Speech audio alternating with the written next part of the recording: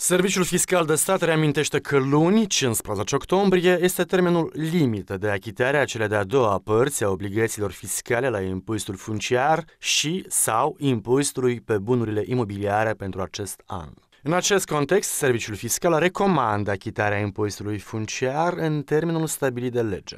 Menționăm că pentru fiecare zi de întârziere se aplică penalitate zilnică. Impozitul pe bunurile imobiliare se achită numai târziu de 15 august, primul termen, și 15 octombrie, al doilea termen al anului. Contribuabilii care achită suma integrală a impozitului pentru anul fiscal în curs până la 30 iunie beneficiază de o reducere de 15% a sumei impozitului ce urmează a fi achitat, dar despre acest detaliu vom vorbi deja la anul.